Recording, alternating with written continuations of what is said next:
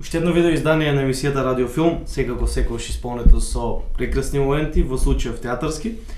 Чест ми е, почитувани слушатели и почитувани гледачи, за прв пат официјално да му посакам добре дојде на нашиот сограјанин, театарскиот режисер Никола Ристов, кој својот професионален ангажман го започна уште за време на своите студии на Факултетот за драмски уметности во Скопје и сега продолжува како постојан режисер во Народниот театар Штип. Никола, добре дојде. Најпред ти благодарам за прифатената покана. Ви благодарам за поканата. Пред да почнеме да зборуваме за театарот неговите предизвици, малце да се запознаеме со кој е Никола Ристов, уметник по вокација, режисер по професија. Зошто токму театарска режија? Па уште во средно многу се залюбив, така да кажам, во театарот и прво се глумев, работев на сценографија, работев на кореографија, на шминка, на костими, за еден ден да сватам дека сето тоа се содржи во режијата. И при крајот на моето школување тука во гимназијата направив една режија која што ми зацрсти идејата дека треба да бидам режисер и потоа тргнав по тој пат. Така, имаш дипломирано на факултетот за драмски уметности во да. Скопје. Твоите почетоци како студент, највпечатливи моменти од тој период? Значи, самото студирање е многу впечатлив момент на тој факултет. А, таму во едно во исто време се осеќате многу слободни, се чувствувате многу слободни, во исто време имате толку многу работа да немате воопшто ни секунда слободна за себе. Значи, самиот микс на тие емоции го прави целото студирање едно прекрасно искуство кое што подоцна дава многу повеќе заред и сила за сите работи што треба да ги работиш понатаму. Така што има многу моменти кои може да се одвојат, е може би најдоброто нешто што ми се случи таму беше заедничката соработка со моите колеги која траеше со денови, со месеци, со спиење на факултетот, со создавање на сценографија едни за други, со помагање, со глумење во едни во други во вежбите.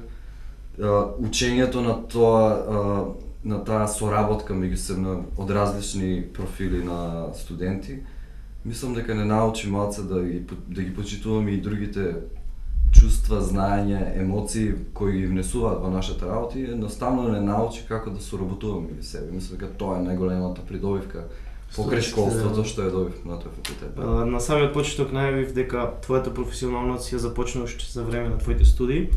Во еден неформален пријателски разговор да кажем, имаш спомнато за твоја соработка со добро познатиот драматург Дејан Дуковски, актерот Јовица Михајловски Ќе кажеш нешто повеќе за тоа и какви беа искуствата? Тоа беше бев а, а, асистент на таа представа. Тоа ја работеше Бојан Трифуновски, мојот колега. Представата беше прави изведба на текстот на Дејан Дуковски Празен град, кој беше составен само двајца актери, Јовица Михайловски и Тони Михайловски. И беше одлично искуство да се работи само со двајца многу врвни познати кај нас нели актери кој што не, не покажува едно малку а, по силна страна на таа традиционална македонска глума, која што ние со помладиве колеги не можевме да ја видиме пред тоа. Така што тоа искуство, посебно и со Дејан, како писател, беше огромно за мене и влијаеше подоцна на сите други работи што. Кога година тоа? Тоа мислам, да не излажам, мислам дека беше 2009-та. Тука веќе си студент, мислам дипломиран театарски да, режисер? Да, да, дипломиран. А, кога официјално прв пат започнуваш еден театарски проект? Поставуваш представа на сцена? А, првата се случи професионално, да. се случи мојата дипломска работа. Тоа се случи 2007 година. А, тоа беше проклетството на изгонетата класа текст од Сем Шепард, да се работеше во Велешкиот театар. И може би до ден денес ми е омилена представа затоа што многу многу труд уложи во предпродукција на таа представа, бидејќи нели дипломска, а, мораше да се одбранат милион прашања на професорите уште пред почетокот на пробите. Така што имаше навистина многу а, една година мислам дека работев само на предпродукција на представата. И Од друга страна, публиката ја прима многу добро таа представа во тој момент и бев многу задоволен и од темата, и од текстот, и од тоа како глумците се судрија со предизвикот, бидејќи навистина многу комплицирана представа. Но едно од оние след, светли точки во мојата историја како, како театарски режисер, да, и бев многу задоволен од тоа. А, веќе кога спомна Велешкиот театар, паметаме на твоја представа која што има има оставено добар впечаток представата Нора и што играше и на Угада сцена театарскиот Да. фестивал овде во мултимедијалниот центар. И таа се произвед, мислам како производ потекна од Велешкиот театар. Да, па добро, ние нели како режисери до пред некој време немаше вработување за нас, па моравме да работиме постојано На проект. на проекти и поднесувавме на секаде проекти. А, јас изградив некоја поблиска соработка со Штипскиот и Велешкиот театар. Нора беше еден, исто еден голем предизвик, бидејќи доста силно класично дело. Многу, многу светски критичари ја споредуваат Нора како женскиот Хамлет. Значи, огромен предизвик за било кој женска а, девојка актер да, да го игра тој лик, бидејќи многу комплексен, многу а, многу па, ствар многу притисок врз самиот актер. И тоа беше многу интересна борба. Нора играше Кети Борисовска, која во тој момент тоа беше прва главна улога од која вработена во Велешкиот театар. Значи нов предизвик за неја. Да, огромен предизвик беше за неа, она се бореше лавовски, морам да кажам, значи лавовски. А, постојано се бореше и со ликот и со тоа како треба да се свати целата таа структура на Нора. И на крај мислам дека добивме многу а, а, представа, убав производ кој што имаше кај не, некој од публиката после премиерата имаше многу интересни реакции. Да, мене ми беше впечатливо оние коцките на самата сцена. Да, па тоа доминото беше земено како символика дека многу лесно се гради, многу лесно се руши.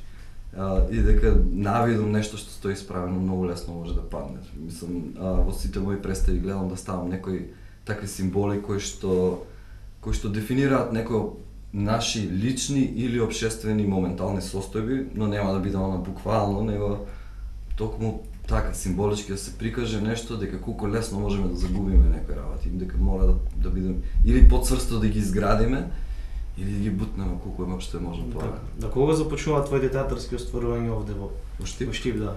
Па веднаш после дипломската представа работев тука текст праизведба исто на Катерина Момева, тоа е една млада драматург, млад драматург. А, представата се викаше Телеграма. Се работеше исто со двајца ликови беше само, се работеше за баба и дедо кои што нивните деца се во странство, они се оставени сами на себе. А, така речено во наводница си јаат коските. И постојано да се обвинуваат еден со друг за се што се случува од од страна, за на крај да дојдат да сватат дека тие двајца и покрај тоа што децата не сите се во странство во, одамна не им се јавуваат, не се појавуваат, дека тие двајцата пред се треба да си бидат доволни еден за друг, за подоцна да биде и самиот свет доволен за нив. Таа беше многу емотивна, онака со емотивен пристап дотизов таа представа. и Беше направена камерно со публиката да може на сцена да ја следи. Мислам дека беше интересно. Веќе сме кај Штип, оваа академска година тука почнува да функционира и првата филмска академија во Македонија. Ти стануваш дел од самиот наставен кадар на филмската академија Да, како асистент. волонтер. Да. Волонтер. А, а, значи, се најдовме тука да помогнеме во тоа што се гради. Имаме шанса да се направи убава филмска академија каде што ќе излезат нели, наши колеги кои што понатаму ќе творат, ќе ги носат работите во некои по, поинакви линии, поинакви чувства од тоа што ние сме навикнати, тоа е тоа што ни треба. Секогаш треба свежа крв, нели? И само се најдов овде за да пружам онголку помош колку што сум способен да пружам во оваа институција, бидејќи мислам дека а, едноставно треба да се помогнат сите такви варијанти на обучување и на усовршување на нашите млади идни колеги. Малце да кажеме нешто збор два за начинот на кој што се одвива предавањата, да, па вежбите. ние значи како волонтери доаѓавме да помагаме на професорите пред се и во соработка во комуникација најмногу помеѓу студентите и професорите. Значи кога професорот ќе зададе некои задачи се грижевме да бидат извршени до крај и гледавме да ги а, при, да ги притиснеме така малку да кажам а, студентите за да можат да издадат да дадат што е можно повише од себе повеќе а, така што нашата мојата еве да, да така да кажам, мојат, мојата работа беше линк помеѓу професорите и студентите. Ам, Па мислам дека добро завршивме да се работи. Има амбициозни дечки што Да, запишува? има одлични деца. Има деца кои што имат многу светлини напред нив. Единствено што треба да направат е многу посериозно и уште посериозно и уште по а, безмилосно се фатат во костет со сите предизвици од оваа професија, да се откажат од многу спиење, да, да се зафатат уште за многу читање. Имаат уште многу работа пред нив, се, сепак се на почеток, но има, има светла надеж. Така, ово беше краток историјат за режисерот Никола Ристов, Штипјанец. А, Го продолжуваме вториот дел од разговорот, секако со малку по обширни прашања за културната и театарската уметност кај нас во државата.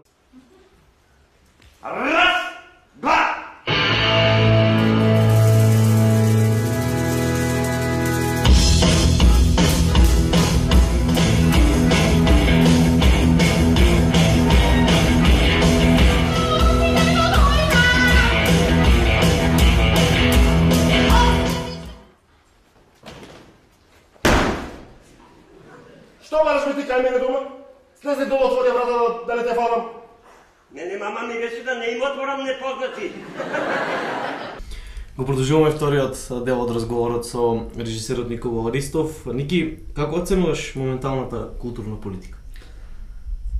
Обштата културна политика? Да. Значи, имаме многу предизвици пред нас. Наистина многу.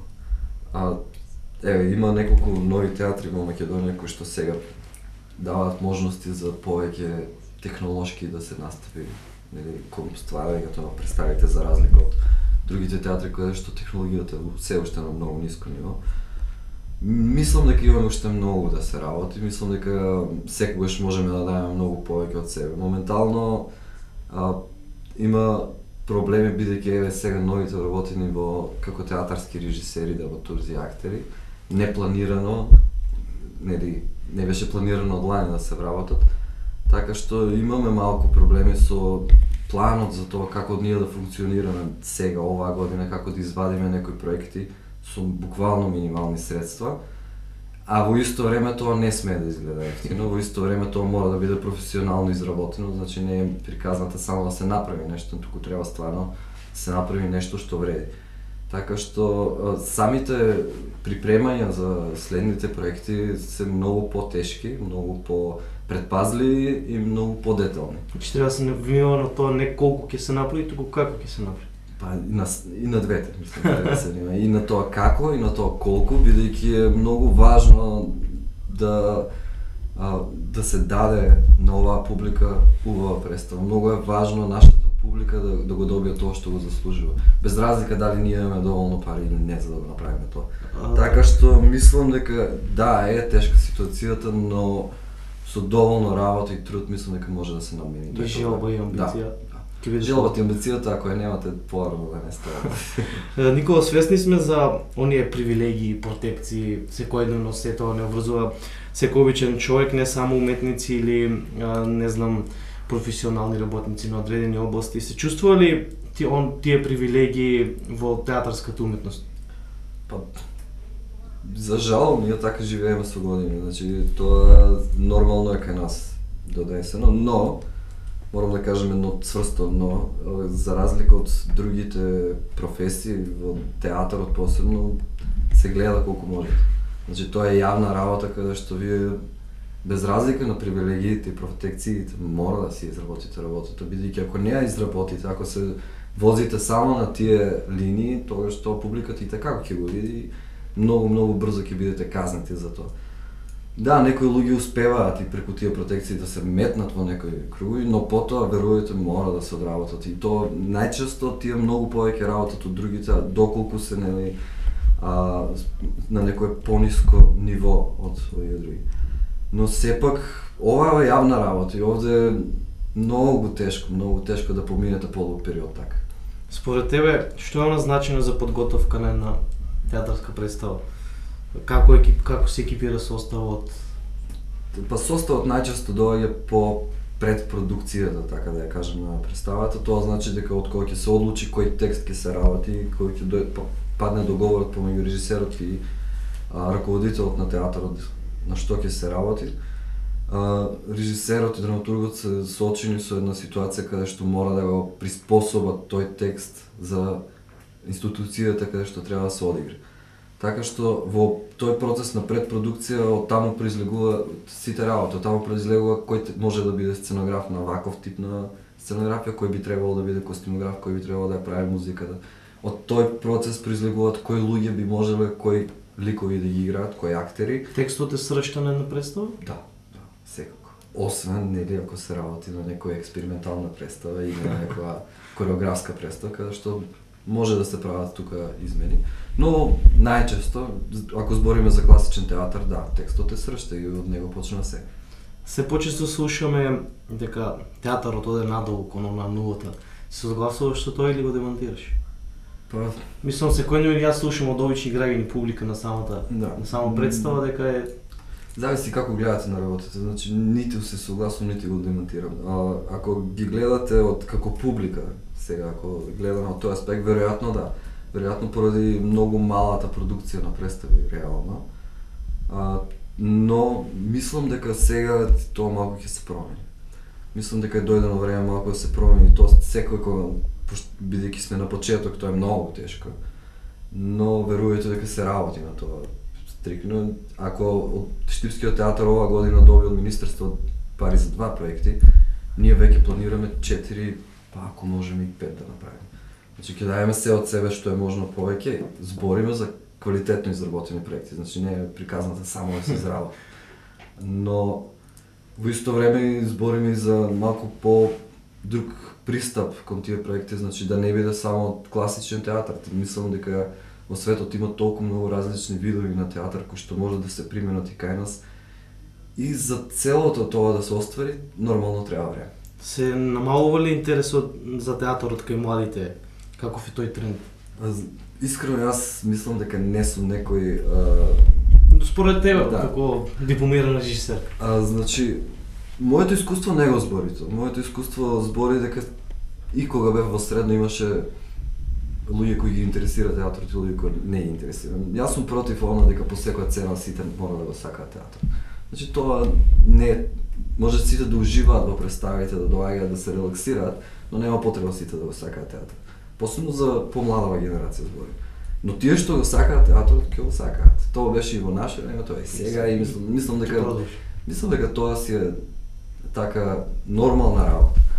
Од, друг, од друга страна, а, еве сега преку под налог на Министерството за култура, градот Штип соработува со две училишта во нашиот град. Тоа е Гоце Делчев и Славејко Арсов, каде што тие во соработка со Домот на културата изработуваат детски представи, каде што тие ќе бидат нели на некој, некој малце повисоко ниво, а во исто време и се внесуваат децата малку повеќе во светот на театарот да го засакаат, да ви, па ќе видиме од нив кои ќе бидат тие што го сакаат, да, а кои ќе бидат тие што ќе одберат друг пат.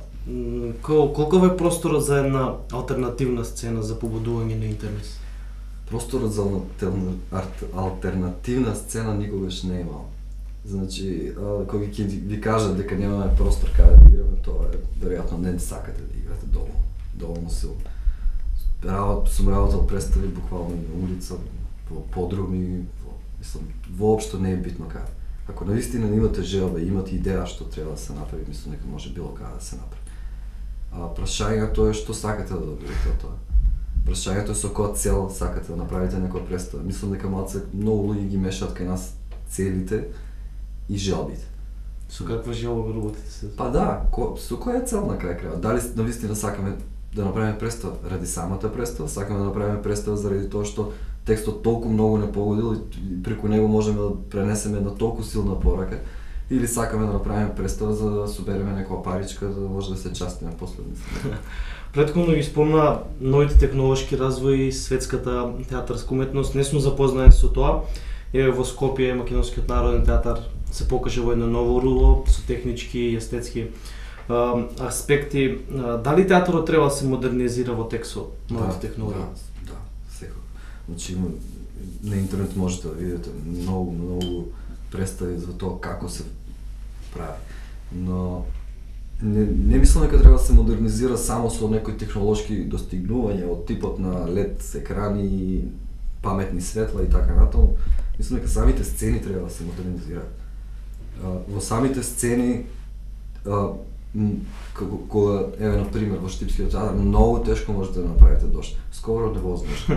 Скоро невозможно. Значи ви треба многу голема инвестиција за да направите сцена во која би врнало дошт. Реално заради сите тие технички проблеми кои ќе се појават доколку се решите да го направите тоа. Значи се прво потребна реконструкција на самите Па, згради, односно Доколку сакаме да правиме таков тип на представи, мислам дека е редно време да почнеме на тоа да размислуваме, а, мора да се внесат.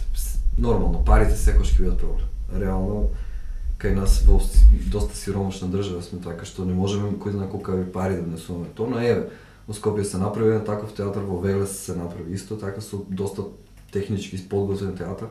Сега ќе видиме како колегите ќе го искористат. Така, го продолбочивме малку муаветот, мо- може би забегавме, но сепак ќе стигнеме до главното и следното прашање ми е по кој критериум го избираш текстот за една представа, негова актерска екипа, сценографија, костимографија? Па пред се според тоа каде би се работел тој текст. Доколку значи според институцијата каде што треба да се направи текстот, според тоа со кој актерски потенцијал под нели го содржат, гледаме да одбереме представа кој текст кој што воедно би бил и по и во, во исто време и би одговорил за тој карактер на луѓе кои се наоѓаат таму, а во исто време би направил некој како да кажам, предизвик на самите луѓе. Од друга страна, тој текст мора да каже нешто што јас сакам да го кажам. Значи, ако не се променува во текстот, веројатно имам голем проблем со тоа.